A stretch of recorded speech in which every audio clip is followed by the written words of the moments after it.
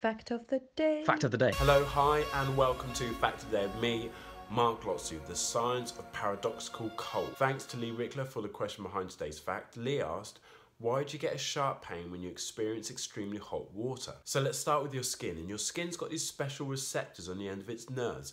And these receptors are called thermoreceptors and they're used to detect the temperature of your external environment. And they're found throughout your entire body and they're always transmitting information about your external environment back to your brain. So your brain needs to regulate your internal body temperature at 37 degrees Celsius. And it does this by comparing it with the external environment. So it needs to know if it needs to heat up your body temperature or decrease your body temperature based on the environment you're in. So if there's a decrease in the external environmental temperature and it ranges from 20 to 30 degrees Celsius, then the cold thermoreceptors are activated. If there's an increase in the external environmental temperature between 30 and 40 degrees Celsius, then the warm thermoreceptors are activated. Now the problem comes at extremes of temperature, so that's below 15 degrees Celsius and above 45 degrees Celsius, because you also get a sensation of pain as well. Researchers have found that above 45 degrees Celsius, your pain receptors can fire as well, and you get a sharp feeling of pain. This is thought to be a malfunction of your thermoreceptor system. There is evidence that receptors that respond to harmful pain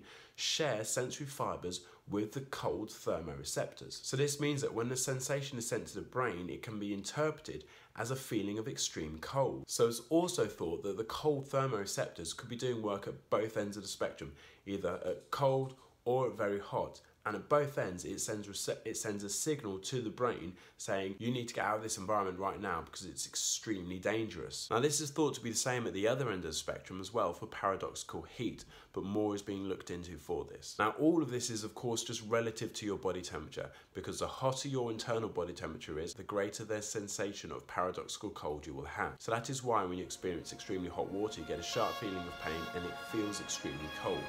That is Paradoxical Cold. Thanks for watching. Love you, bye, love you, bye, love you, bye.